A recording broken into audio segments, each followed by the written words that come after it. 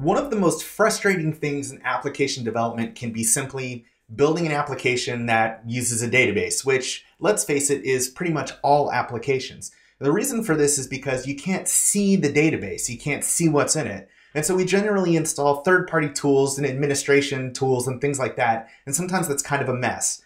But if you're working with MongoDB or Azure Cosmos DB, you don't have to do that. All you need is the Cosmos DB extension for Visual Studio Code. Let's take a look at how that works. The first thing you need to do is install the Cosmos DB extension for Visual Studio Code, which you can do from the extensions gallery. If you just search for Cosmos, that will bring up the Cosmos DB extension for Visual Studio Code. Now you don't have to be using Cosmos DB to enjoy this extension. It also works for any MongoDB database, which is really nice. Once you have the extension installed, it will show up in the left-hand side under a new section here. And you can expand any of your Azure subscriptions to see any of the Cosmos DB instances that are listed underneath your subscription.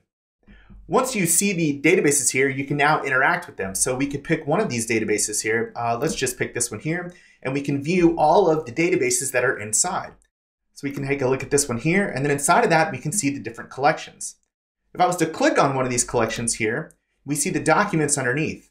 If I want to see all of the documents, I can just right click and say open collection, and that will open the entire collection for us to take a look at and all the documents that are inside. If I want to take a look at one of the single documents, I just need to click on that specific document ID, and then I see just that document. I can also create a new database with this tool. So I could click the plus sign, select my subscription, select a new resource group here, and provide a new Cosmos DB account name. So we'll just call this new Cosmos account. And it will create a new Cosmos DB database for us in Azure. Pretty nice. I can also create a new database inside an existing Cosmos DB instance if I want to by just right clicking and saying create database.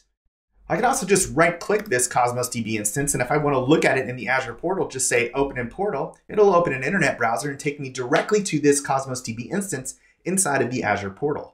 And just like I can create another database, I can easily create a collection also by right clicking. So I can right click and say create collection, enter a new collection, and now I have a new collection inside of the to-dos database just here.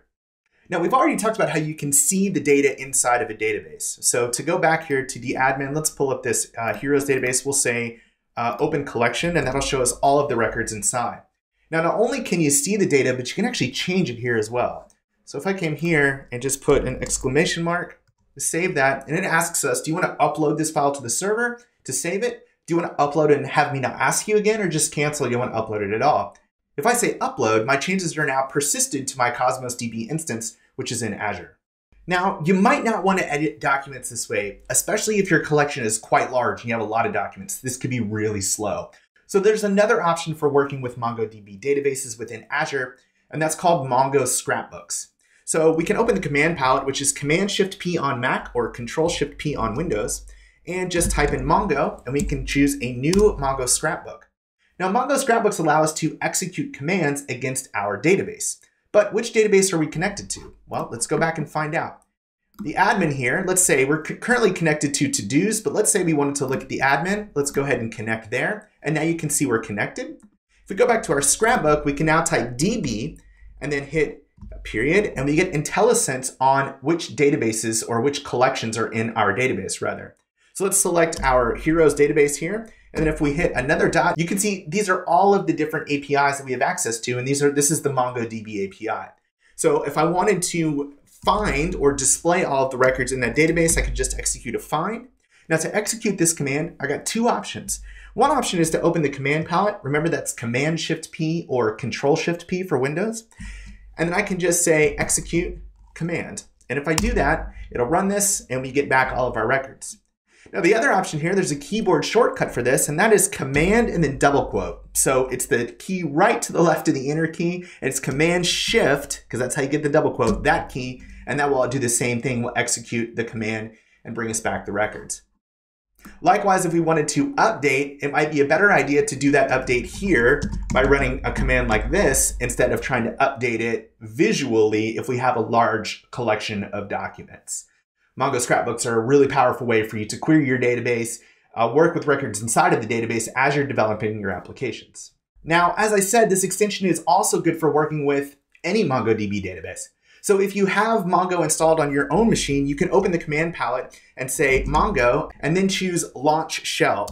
So when we launch the shell, this launches my Mongo shell locally since I have MongoDB installed locally. And you can see here, it's telling me that it's running right here, MongoDB 127.0.0.1 on port 27017. So I'm gonna copy this. I can come back over to our extension here, and we can go down in the extension, collapse the Azure subscription to attach database accounts. And if we can expand that, you can see my local instances here.